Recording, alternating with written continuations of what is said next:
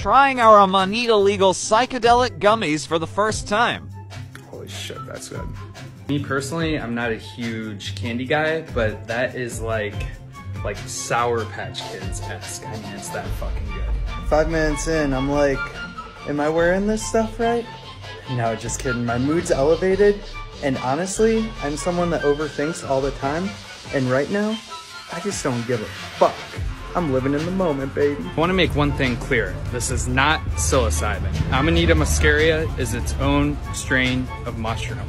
And again, it's a legal psychedelic, but it is not psilocybin. Literally 10 minutes in, and I'm I'm looking at the beautiful scenery around me, the, the palm trees, and they're just so green, and I'm so appreciative of it. It's not like I'm tripping out and like, whoa, dude, that tree's so green.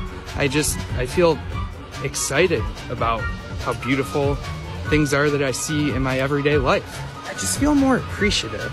And you can never be too appreciative. Secret time. Once we hit a thousand followers, we're gonna launch these gummies. So follow and let's get tripping.